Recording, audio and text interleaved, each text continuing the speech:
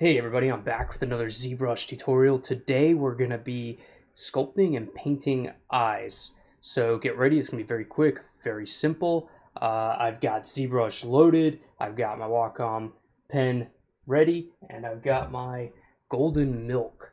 So let's jump right in. Alright everyone, we're going to start with the demo head, because we don't need to create a whole head for this. So let's just go to Lightbox, pick him out right there and let's turn off perspective. As you can see, there's two subtools. One is just the head and one is the eyes and the mouth. I'm going to hit Control Shift Alt to uh, remove the eyes. We'll go down to geometry. Let's turn the subdivisions down to level one and modify topology, delete hidden. Now the eyes are gone.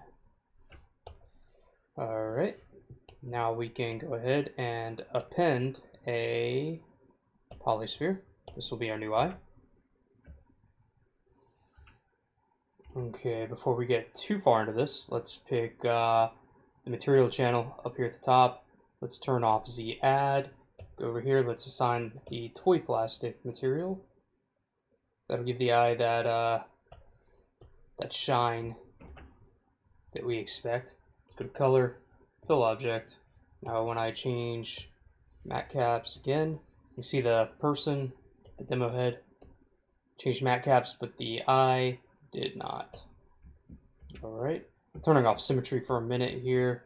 I'm gonna, I'm gonna align this eye in the eye socket. I'm gonna shrink it so it the width basically matches the uh, eye socket whole width. And let's turn on transparency. Let's turn ghost off. I think it's a little easier to see. It's just so we can line things up a little easier. Keep shrinking it. Okay. I think the width is all right. Let's raise the eye up.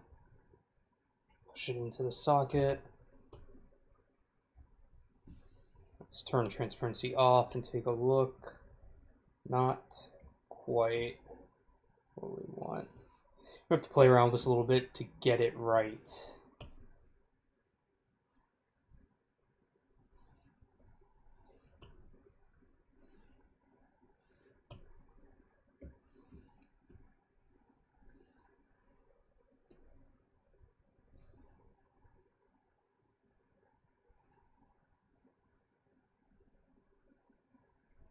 Okay. Let's turn on transparency again. Eh, it doesn't look lined up well. Let's lower it.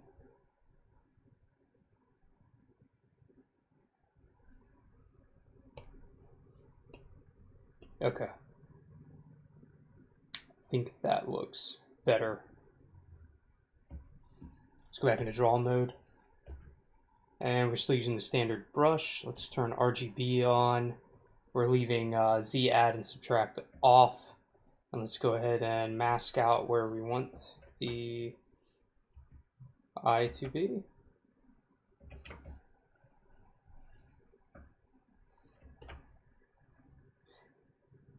Suppose it looks really weird with only one eye. So let's just go ahead. Let's go to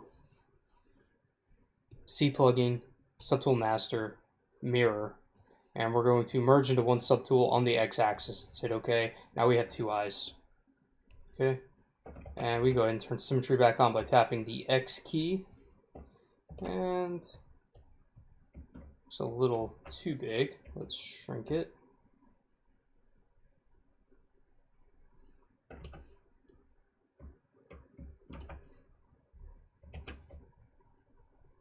Once again, just create this mask over and over until it looks uh, right. And it's going to depend a little bit on the shape of your head.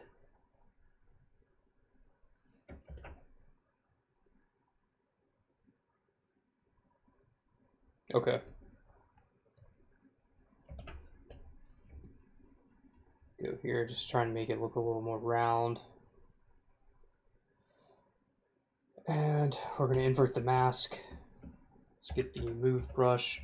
Since we're using symmetry, we only have to do this on one side. We're just going to pop this out a little bit. Pop the iris out.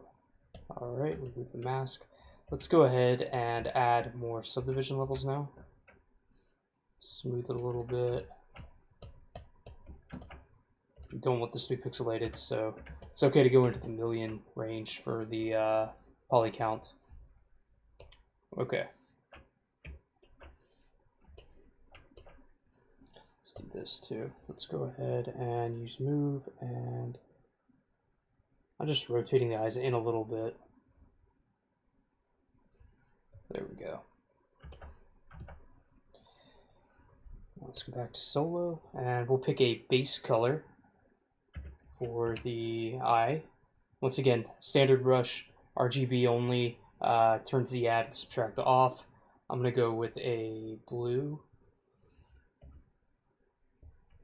And I've got symmetry on, so I'm going to go ahead and shrink the brush down a bit. And I'm just going to paint this raised up area.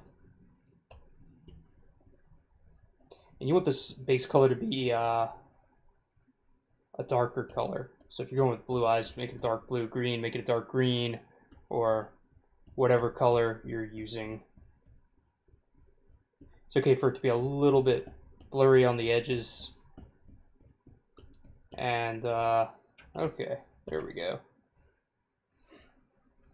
Now, we'll pick a lighter color, and we're going to change the draw size all the way down to 1. And we're just going to go in and start drawing lines. We can also turn the RGB intensity down so we can create like an overlap.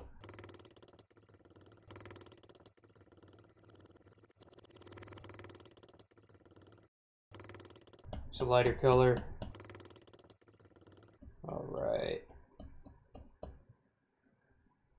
One thing we can also do is we can add a little bit of a squiggly line in there to just add some more variation. Lower the RGB intensity. You can go with almost a white. White color. Just keep adding more layers of color to the eye. Another thing I like to do is go and pick something like an orange, and we'll go really light. And we'll just kind of push this color out from the center. Alright. Sort of subtle. Can play around with a few different colors too, like this kind of an aqua. you can go online, go on uh, Google, and uh, look up eye color references. And you'll find some really good pictures, and you can try to mimic those also. So play around with colors, go online, look at eye references, see what colors are in other eyes, and try to mimic that or just make something up. Okay, so since we had symmetry on, that's reflected on both eyes. Let's go ahead and turn solo off and see. I'm going to switch back to white. Alright, so coming along. Okay, let's go back to solo. We'll pick a black. We'll turn the RGB intensity up near the top.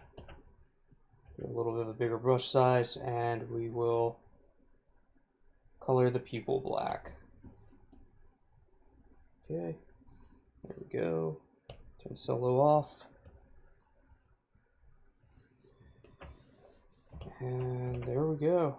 We have some pretty decent eyes very quickly.